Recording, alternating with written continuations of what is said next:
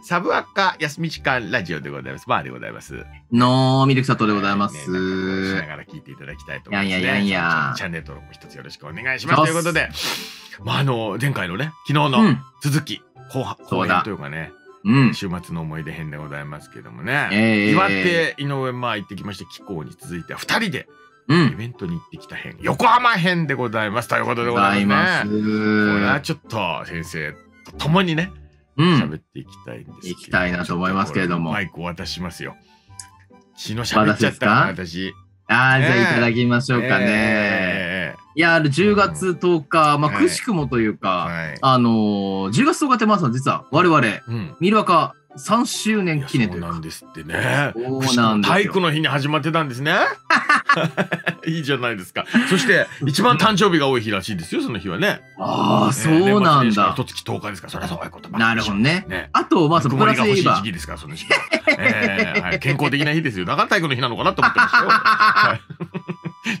えー置いといて、置いといて、はい。あと、ちなみに、あの、亀田製菓の柿の種さん、はいもうはいはい10月10日ですから、記念日。なるほどね。そうなんですよ。あれだもんね。あの、おかきピーナッツ、おかきピーナッツって意味でしょ？そういうことですあーなるほどやねっ。ぱに日本人あれで育ってるからね。そうなんだよ。いつももお世話になっております、亀田製菓さん。ということでね、、その勢いでってところもありますからね。パリパリパリパリ。チュッチュッチュ。ごめんなさい、亀田製菓さん。はい、はい、はい。えーそんなこんなでね、まあ、我々、あのー東神奈川というところで、うんえーまあ、横浜フットボール映画祭さんに、まあ、出張お呼ばれトークライブと有名なイベン。トですよね。いろんな作家そうのなんですよ映画をね、毎年こう選んできてややる。いろんなところで開催するっていうね。うんはい、マラドーナの映画だったかとか、いろいろね。そうなんですよ我々が撮った映画もうん上映さそうなれたんですよということで、なタイトルなんでしたっけあなれ。嘘嘘嘘嘘。トークでね。そうですトークライブの参加させていただいて。行かせていただいて。ね、お呼ばれいただいて。はい。そうなんですよ。うんうんで、まあ、マーさんとはもう前日にね、連絡した後は別に連絡も取らず、はいまあ、僕は普通に起きて、まあ、ふらーっと東神奈川の方に行ってたんですよね。すみません、準備もせずにいつも通り。いえいえ、まあ、先生の授業をち聞くだけでね、俺もうチケット買おうかと思いましたもん。笑ってる。いつもね、我々はね、すいませんここら辺打ち合わせしたことがないですから、ね、収録を生でやっていうような感じでしたもん。あれね。そうなんですよねはい。で、僕ちょっとあまりにも早く着きそうだなーってのことがあったから、ね。そうなんですよ。実はあー二駅遠いところから歩きまして、出た。そうなんですよ。はいお散歩しながら行ったんです。やってんだ、先生ね。そうなんですよ。それでも入り時間間の1時間前に着いちゃいまして、まあ近くのね、うんカフェでちょっとお茶してたんですよ。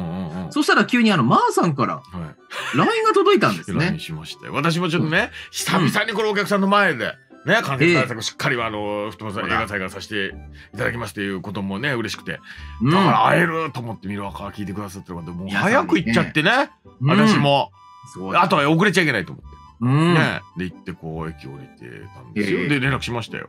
うん。ええなんか連絡いただいたんですけどはいはい、はいはいマーさんから来たのが、先生今どこにいます？と来て、うんあ、今近くのイオンの中のカフェにいますなんて返したんですけどあ、そうですかう。ん。先生、時にあの、うんって、なんか急に地図が送られてきたんですよね。マーさんから。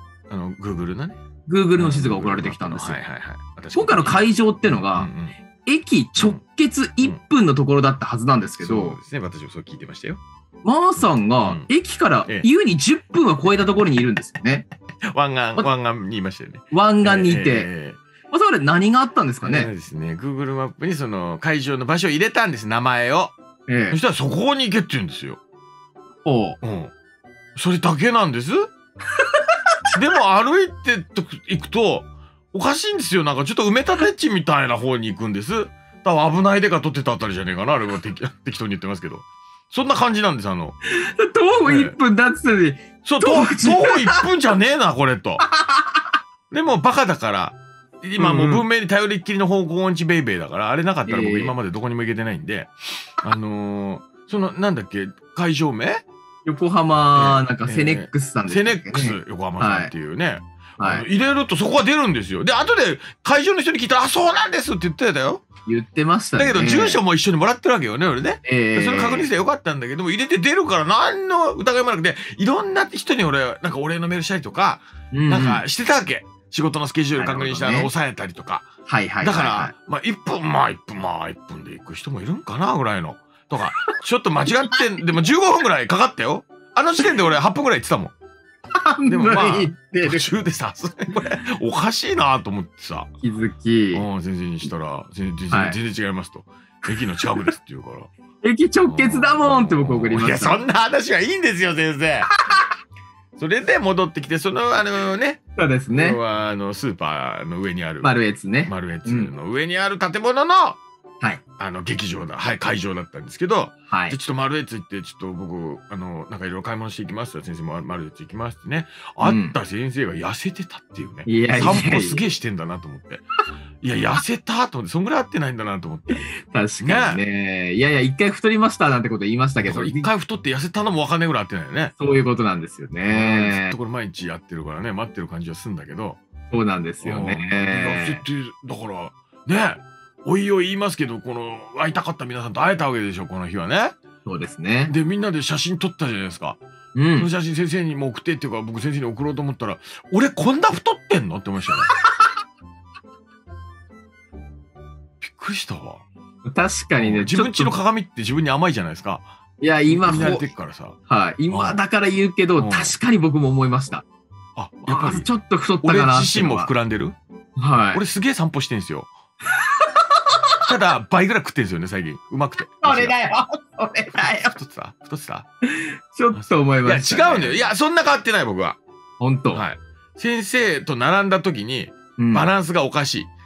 同じぐらいだったが、先生のがなんなら、俺のが細かった時ありました。初めてある、わかる。それはもう。わかるでしょ？うん絶対そうだ。逆転されてたの私すごく悔しかったの。それでこのこの後喋るその会いたかった人たちがものすごいかっこいい人たちでしょ？イケメンオブイケメン。私二度とあ並んで写真撮りません。やめてやめて。今後も、今後も仲良くしましょう。い今からすっごい面白いこと言いますよ先生。はい。ね。その人たち会いたかった人二人、うん三人ですよ。会いました。ね。はい。その人僕その人僕で並んだらうん。10月10日だよ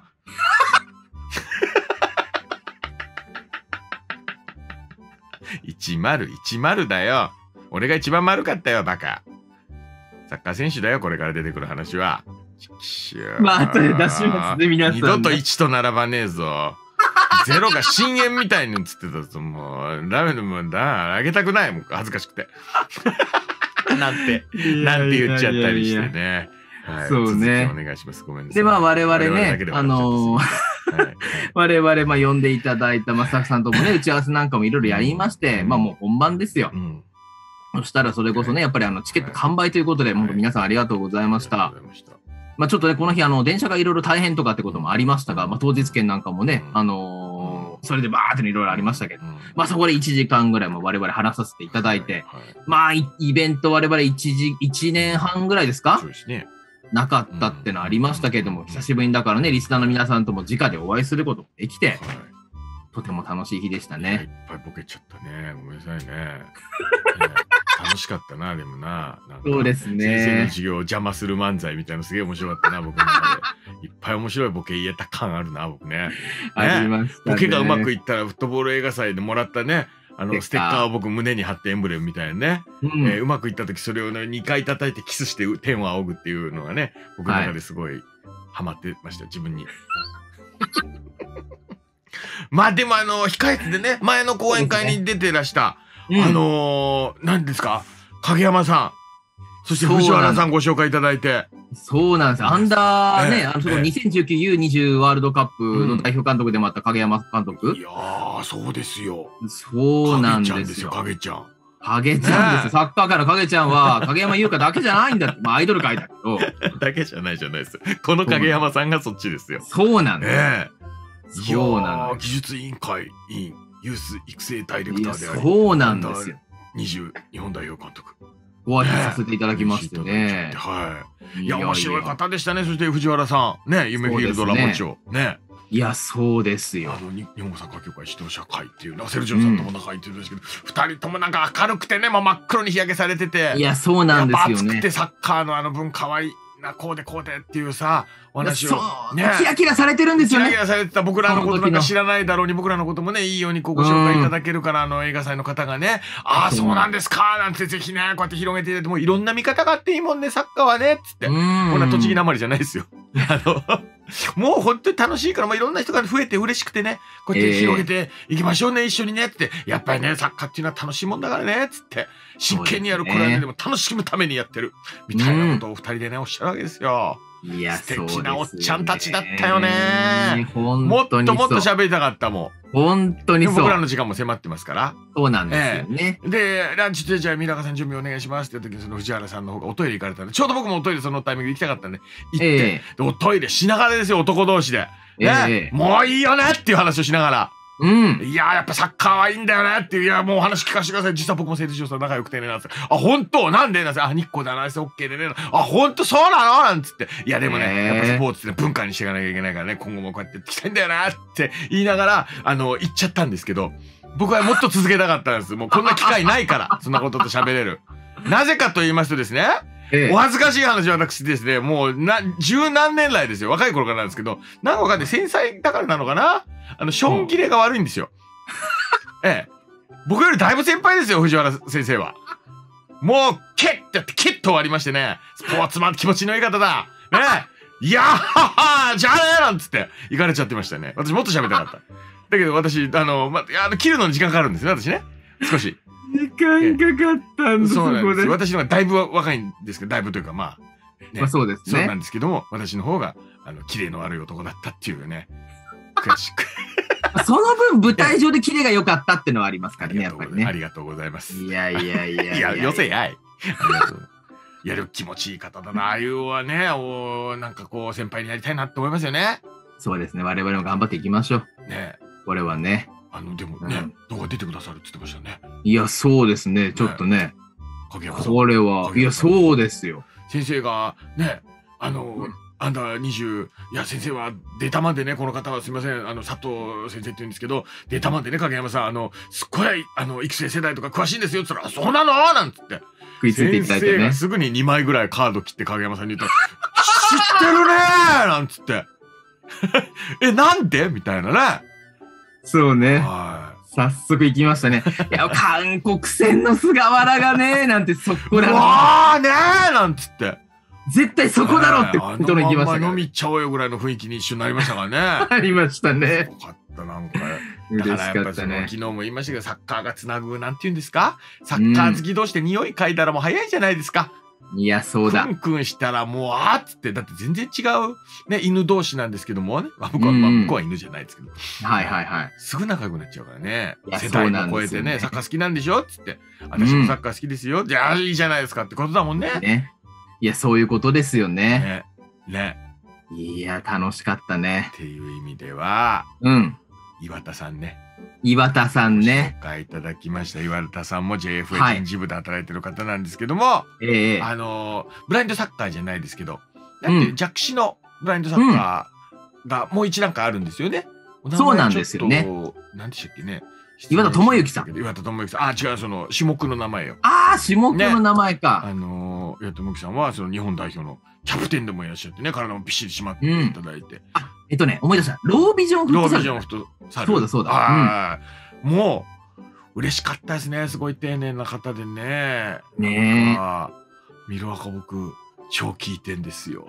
ってびっご挨拶させてもらいたかったんです。いやいや、それとんでもないなんていう話になってね。ええ超嬉しかったな。音で聞けるんでいいんですよ。なんてすごい嬉しかったですよね。嬉しかったですね。僕らのやっぱり一番コンセプトですからそうですね。ね。なんか、うん。いろんな方に聞いていただいて届いてんだっていうのはちょっとグッときましたよね。来ましたねね。活動もちょっとね、あの注目したいなと応援したいなと思いましたしね。そうですうんね。うんうん今後ちょっとまだから、それこそね、うん彼にも岩田さんにもちょっと出ていただいて、ちょっといろんなお話等々なんかしていただけたら嬉しいかなですね、ですね。思いますね。始まる前に出会っちゃってんだから、その、ご、ご両名と ですもうね。感無量でお疲れしたっていう、か、か、か、先生ダメですよ、終わりじゃないですよ、つって。ライブライブっつって。ライブでもね、またこれは久しぶりの人にいっぱい会いましたしね、久々の人会いましたね新しい方もなんかマスクしてるじゃん、お互い。そうですこんなご時世だね。から、マスクして喋るのもなんか、なんか、変な話慣れてきちゃったし、おう互いのん。表情は、僕らはわかりますけど、客席の表情もなかなかわかりにくい。いそうですね。や、ただ、昨日は全然わかりにくくなかったね。いや、本当に。ね。本当に、我々からすれば。のだって我慢してくれてるんですけど、もしくは僕が滑ってたんですけど、いや、そんなことはなかった。最高だったもん、マ目サは。尻、よ、よせやい。あ の笑ってる。先生笑ってますよ、今。ね。高音で笑ってますから、声消えてますけど。はい あ、低音で笑ってくれてる。優しい。ね。なんでね、あの、う目尻を見てね、うんああ、皆が見てくださってる方なんだなって分かるよね、やっぱ笑い方で。いや、そうですね。あここでそのハマり方してくれてんだみたいな嬉しい。あの子が唐揚げちゃんかと。そうですね。ああの鹿島を着てるあのちっちゃい子。ああ、やっぱりあれが唐揚げちゃんだな。どうやらここでこの笑い方するってことは、みたいな。そうですね。その前にいるのが、あの子ええがあのキッコーマンちゃんかと。後で唐揚げちゃんと直接喋ったら言ってたよええ。私はキッコーマンちゃんの後ろに座ってしまって、とんでもないところに座ってしまったって笑ってましたよ。とか、とかね。MOG っていうね、ゲーム仲間の T シャツでね、そうですね来てくださってる方もいましたしね。ゆうとくんとか鹿島さんとミスタ。ーヒューストン、ミスターヒューストンもね、大喜利のシステム作りでおなじみのね。そうですとか、ね多。分でも初めて来てくれた方もいっぱいいたと思いますよ。そうですよね。えでも、やっぱりこう、いずれもというか、うん本当にもういろんなところでこう食いついていただいたり、笑っていただいたりだとか、本当に嬉しかったし、我々ももう時間制限ギリギリいっぱい目みたいなところからね。そんな講義が一番素晴らしかったですよ、それは。いや、そんな寄せやい。ちょじゃあもうちょっと貯めてから寄せ欲しかったんですよね。っとそこら辺俺まだ4年目勉強しなきゃいけないですわ。兄さん、師匠まだ勉強させてください。そこら辺。寄せはほら、フィニッシュブロー、天丼。とんでもない。そこ僕ググッといっちゃう癖あるから。そう、ちょっとね、あキレがいいですからね。ありがとうございえまえそうですす。か。いやいや。いやいや、その本当に、あの、で、皆さんからあっという間ね、でしたね。自分らでライブ組んでる時は2時間やってたから、そうですね。1時間なんでね、ちょっと短くて。あとはね、えなんなら、みんなともと喋りたいな、みたいなのもありましたからね。ありましたね。うんまあ、で一番皆さんとはね、あの、喋りました。終わった後にね、そうなんですよ。うんで、そこであとお土産なんかもちょっとありがたいことにいただきまして、皆さんありがとうございましたいやくれんで。すよ、おじさんに。おじさんにねお、じさんにお兄ちゃんとか、お姉ちゃんとか、おじさんが。おじさんええがありがとうございます、皆さん。んですよ。ツンさんっているでしょ、ちょんまげ隊長ね。はい。ええあれがね、ツンさんが、あの、後に他の会場のね、あの、ことやってちょっと我々ね僕らもそちらに行ってさ。行ったんですけどさんに会ったら、な何持ってるんですか？これ、あ、これいただいちゃったんですよ。えー、すごい、え、に、え、いやー、わかるな、すごい人気、いいな、すごい人気あるじゃないですか、おじさんなのに。爆笑しました。二人で。いやいや、先生が人気あるんですよ。いやいやいや、そんなことない。ねいやいやいや、そんなことありがとうござい。シウマイとかね。ねえ、本当にと。かいろいろね、八つ橋とかいっぱいいただきました。あと、まずじゃあ、あの、また次お渡しあの、次お会いした際にちょっと渡しますから、からげちゃんからもちょっとええお手紙をいただきまして。あ、私私にも？あ、そうなんですよ。あ、二人に対して。そうそうそうそう、ありがとう、からげ朗。読でいいですよ。優しいな、唐揚げいや、ちゃん。それはねそれはね、ありがとうございます。まあ、そんなことありまして。なんか久しぶりに届いてんだなっていうか、思った。うんなんかあの、ね、数字とかはこう見れるけど、うん。前はそれが実感できてたからって喋ったりとかして、それがまた、あ、あーそっから改めてな、っつって。このコロナ禍ですねで長いことしなくて、でもそんな気持ちの貯金をちょっとこう、うん下ろせたというですね。感じで、なんか、ね、横浜の空見ながら先生とね、移動しながら、じゃあそってね、言ってね。ね。言ってたね。誰のーって本当ら、に僕はさ、本当に二人だからな、ここねも。降臨丸に乗ってる時が幸せなんだよ、横浜で。乗ったことないだろ。中山雄三的な気持 ただその後ですよね。そうなんです。会場ね、我々ちょっと移動させていただいて、ええまあその間にちょっとあの、取材とかもちょっと私受けさせていただいたとかもあったんですけれども、はい、えーそんな中でちょっと別会場に移動して、で、はいとある方々ちょっと待ってるというか、むしろあの、ちょっとお会いしたいと言ってくださってる方々がいると。光栄じゃないですか光栄ですよ。はい。で、もう一つのね、カナックホールというところに移動させていただいて、それで上がって待っていたのが、ね恋梶さえ、ん。梶さんとお会いできました。やっとお会いできましたよ。そついにら会えた。そらスタジアムとかでは見てますよ。うんで見てますけど。ええうん小池さんっていうのはこれね、先生ご説明を。はいえー、現在の J2 東京ベルディ所属の。小池純喜選手、ええそして梶川亮太選手、はいはい、あとプラス実はもう1名いらっしゃいましそうて、そうそ今 YSCC 横浜に所属されている神田。いや選手。私大好きな選手なんですよ。3人いらっしゃる。る。実は神田選手をこの間ミラーがフォローしてくれてたんですよ。いや、嬉しい。あ、そうですか。あら。あの、多分この件関係ある2、3週間前なんで。あそうみんなかっこよかったですね。やっぱそれ当たり前ですけども、スラッとされてね。あー111でしたよ。あれ、マーさんは何でしたっけ？え、あの、ゼロでもなく丸です。深淵の方ですね。恥ずかしいわ。先生も深淵に近かったですけど、ゼロぐらいになってますよ、今。いや、そうですいね。いやいや。いや、でもね、スラッとしてうんもちろんかっこいいですけど、びっくりしたのは、あの、いや、うん僕あんな、あの、礼儀正しいと言いますか、はい。あんなもうなんか銀行員みたいなうん。物腰で来られる銀行員、あんま褒褒め言葉になってないから、なんかさ、な礼儀正しいってことですよ、もちろん。そうなんですよあのなんね。ていうんですか？お名刺の渡し方というあ、か。どうもって言ってくださる、うんもったいないもったいないもったいないって言っても、ね、お二人ともお三人とも。そうなんですよね。でさらにあの特にね、動画で聞いてる声だとか言ってくれて。僕らにですからね。えーって逆逆逆ですよなんつって。嬉しくなっちゃったね。嬉しかったですね。えーただ、それこそあの、ベルディの台所事情とか含めて見ていただいてて、そうなんでしょ？本当に嬉しかったですね。やっぱりそういうこととかも言ってくれるの、くださるのが本当に嬉しくて言、っていただきましたね、ね。そうなんですよねえー。そうなびっの。くりだった感。動しちゃいました。そうですますますね。ファンになっちゃいましたねい。や、本当にまたそうする。とこう試合の見方も変わりますもんね。そうなのよちょっと気持ち、いやー、喋ったな、いい人だったなっていうのをね。そうなのよ。だからもう。あとこれを機に、あとコラは、ボ、ね。コラボもしたいですね。ねで多分やるでしょう言いましたもんね。そうですね。ええでもええそうなの。これ最後、はできお名刺を一人ずつね、渡していただいて、いや、もちろん知ってますよと思いながら。うん。ね。ただね、もう一もう一人、その、神田選手？うん。僕、マスクしてたし、わかんなかったんですよ。そうなでんです先生が軽く紹介してくれた、半田選手って聞こえてたんです、僕。そうなんですね。ごめんなさいね。半田選手。僕の。あでも、ね、なんか、ありがたいなって思いながら、うん。あすいませんと思いながら。だけど、名刺を渡されたら、神田ゆめみって書いてある。存じ上げてますよ。だって僕実況でいっぱい。実況であの試ね。合も見てるし、って言ったら、実況って言ってくれたから。えそこでそうそうなね。んです、なんつって。ね。うん。もっと喋りたかったですけど、小池さんともね。ね。でもほら、周りにね、やっぱ喋りたそうな方がいっぱいいらっしゃったから、やっぱり。そうですね。あおじさんがいつまでもいるあれじゃないっつってねね写写真でも撮ってくださいいいですかなんて言ってね言って撮らせてもらって、あっちで見たらねもう串と団子みたいになってましたねね団子串串串マジえでえ。うん、マジで否定ができないんだよ、本当に。本当にそうだから。ええそんなことがありましたね。運動はねうん。平等にカロリー消費するんですけどはい。代謝がおかしいんですよやっぱりねいや、そうね。45ですからいや、しょうがないよ。これはしょうがない。そういうことですか、しょうがない。逆に、ええあの、すっごい筋肉質で痩せてるマーさんは見たくない。そうなんですよねそう。炭水化物企画で僕バキバキ日課になったんですけど、うん。心配されただけでしたからねあんな、あんな皮だらけのマーさんもう見たくない。皮ビローンはもう見たくない。心配されるんですもんね。会話の覚えてますかか、マーさん？インコル皆さんにもね、ええあの、ええ私初対面のマーさんって、ええええ顔よりも先になんなら、うお腹の皮先に見ましたからね。初対面の時。あ、伸びてますよって？うん。あ、ほんと。そう。先生が知ってる井上マーティでもあのぐらいのサイズだったでしょもともとは。そうですね。お笑いとして知ってる時。あ、でもちょっと記憶にはもうほとんど薄れてるかなう。もう上回っちゃった団子の方が。ええ団子コーティングが上になっちゃった。やかましいわ。あ、そうですか。マイペースでいいんですね。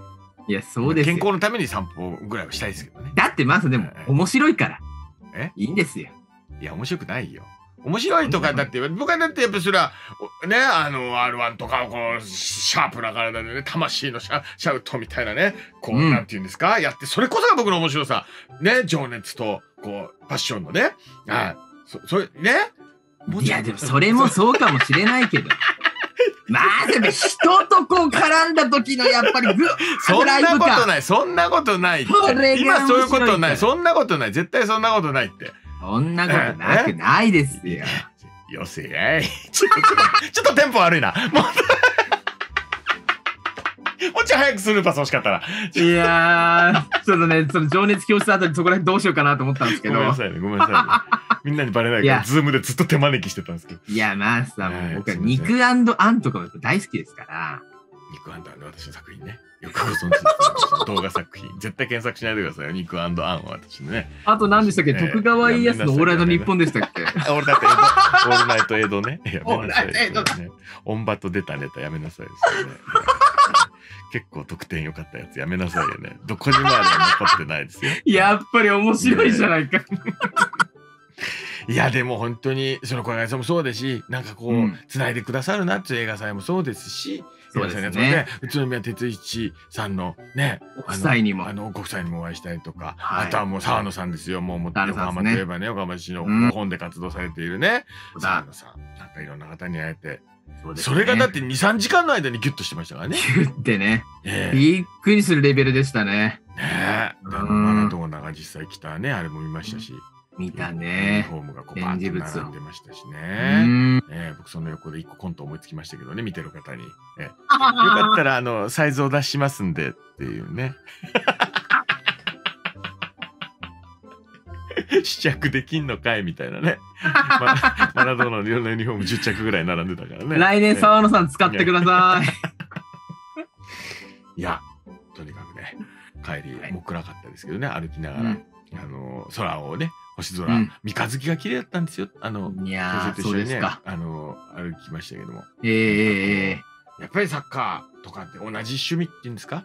うん。プレーとか勝ち負けとか、もちろんワールドカップも苦戦してしてますけど、なんかね、なんか、やっぱこう同じ話ができたりとか、うんあ、。そうなんですかって言ったりとか、もう性別も年齢も超えていいんじゃないかなっていうのが、この週末の私のこう、総括かなっていうふうに思いますし、4年目に入るミルワカね、先生。うん。はい一。番私が思ったのは、うん。あの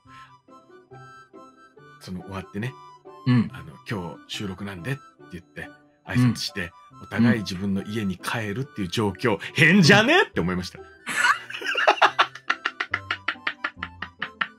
オンラインの方が環境がいいから。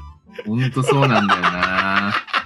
普通はそういうイベントだとか、外行ったらカメラを回してくるのが YouTube なんですよねそ。もそもその前に会ってんのに、うん動画撮るために二人とも用事があるんでっていう感じで帰って家で繋いで撮ってるっていうね。まあ、しょうがない思い思。い起こせばちょうど4年前の10月東海池尻大橋の歌広場で産声を上げた私の iPhone に2人で声を引き込んだ横のねから聞こえる、え、反町隆史のポイズンが少し入っていた。そう。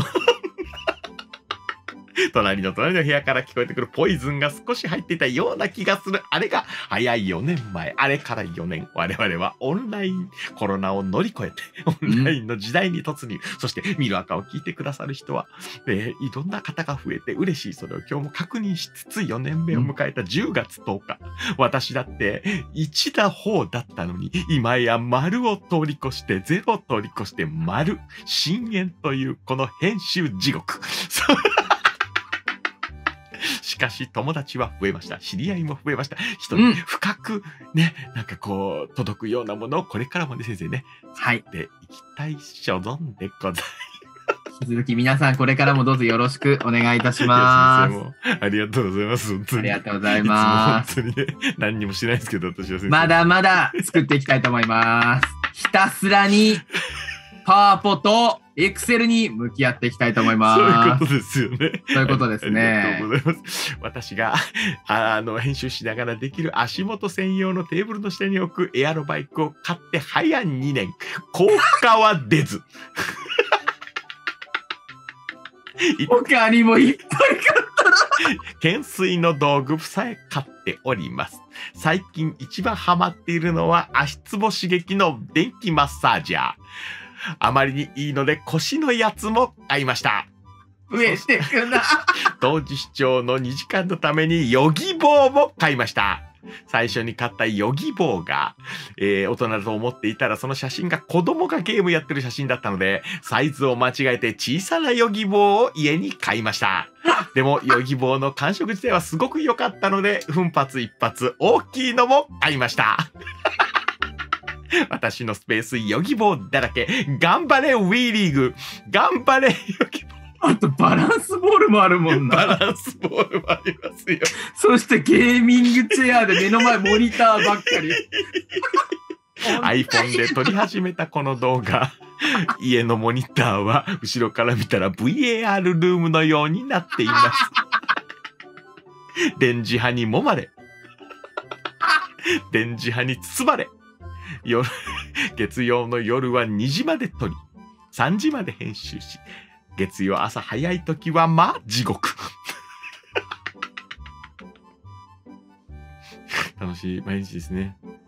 でも聞いてくださってる方がいるんですよ。たまに地方とか行っても言っていただけるんですからね。これありがたいですすね。ね。ええでリアルの声を本当届けていただいたっていう、それが本当に3年目終わったところの本当にね、部分だったなと思うので。いや本当すねなんかすいません、うんこっち側のなんか思い出語りみたいになっちゃって、まあ今日長くなっちゃったね。ありがとうます。まあでもこういうのを愛していただけたらねええそうで、すね嬉しいなと思いますのいで。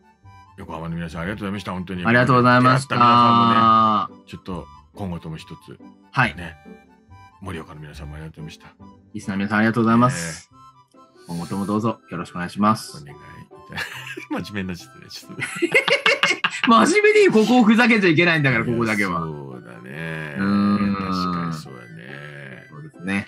ただね、私ね、はい最寄り駅まで来ずにね、ね中目の頃からちょっと早歩きで歩いたい夜でした。カロリーを少しでも消費するために。しかし、いいことがあった日なので、帰りに立ち寄ったうどん屋で、うんちくわ天を乗せてみました。